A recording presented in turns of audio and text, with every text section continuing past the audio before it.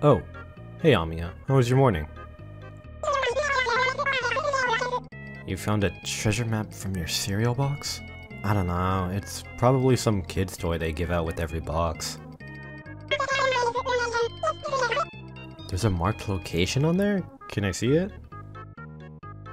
Wait, is that Kal'tsit's taco stand on the map? Wait, they actually have landmarks on here? It might be worth investigating then. It doesn't look that far, so we could probably just walk there. I'll get Ifrit and Kyobi to join us in case we need any help. Hey Kyobi, wanna join us on a treasure hunt? Yeah, I'm sure there'll be food along the way. You're in? Cool. Hey Ifrit, crazy thing just happened. Amiya found a treasure map in her Ami It looks pretty legit though. You want to join us in finding the treasure? You have work? Oh yeah, Zafang merch. Totally forgot. Well, I'll let you know if you find anything interesting. Alright, so it's just me, you, and Kyobi. It doesn't look that far from here, just a forest between us and the destination. Well, let's go I guess.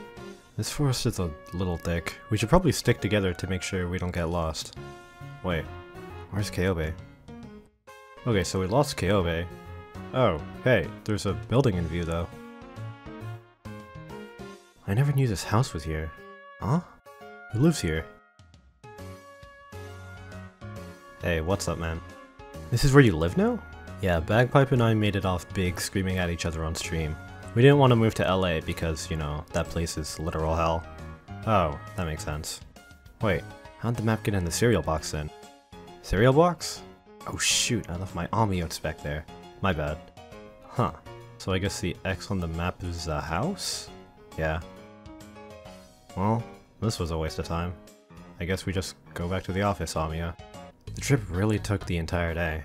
I wonder if Kyobi came back. Anyways, I'm gonna go head to bed. Close up the office when you're done.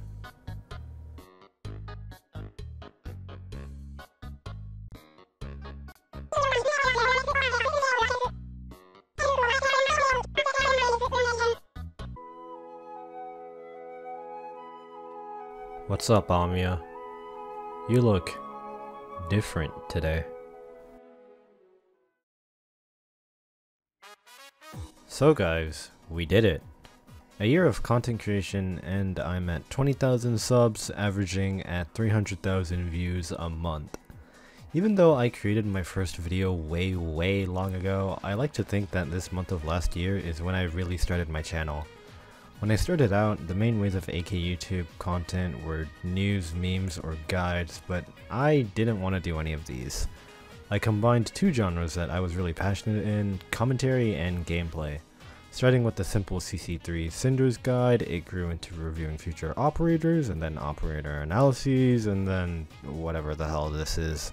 At first I slapped the skits in because I thought they were funny, but as time went on, they became a staple for my video style. I never wanted to be too professional with my video style because there's a certain charm to making things slightly scuffed. One of my biggest inspirations for these types of skits was a YouTuber called Wavestro. Sadly, he quit content creation for good this year because of super complicated reasons that I won't get into, but if you have the time, you should definitely check his channel out. He makes the most unique and funny videos I've ever seen. For the past year, my growth has been pretty crazy, and I'll admit it, at times I was super focused on bigger number equals better, which is probably not good for your mental health. I think having this mentality as a content creator is natural, but at times you kinda just have to take a step back and realize, wow, there is over a hundred thousand of you guys watching my videos every month. And that's pretty awesome. I've just gotten started into streaming because I barely know how to use Twitch. All I do is press the funny start streaming button in OBS and people for some reason want to watch me go live. I'm super thankful to my literal clone Zafang for always helping me behind the scenes with anything whenever I need it, and also the emote drawers for my server, mainly Warbear and Todak. I never asked for the operators to be drawn as pogs or not pogs, but they delivered and having a server filled with these funny faces always brightens my day.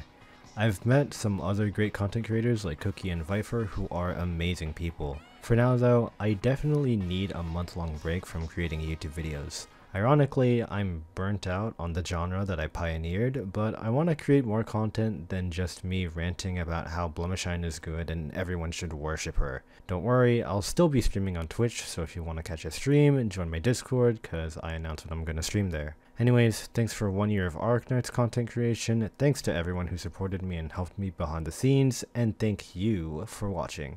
I'll see you in season 2.